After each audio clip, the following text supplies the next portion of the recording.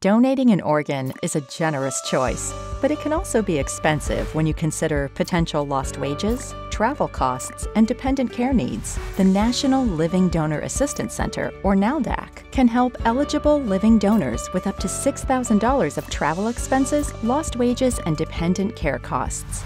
About 70% of households are eligible, but you must apply and be approved before your surgery or earlier if you'd like help with evaluation expenses. To determine eligibility, we consider information about the donor and the recipient, unless the donor does not want to choose who will receive their organ.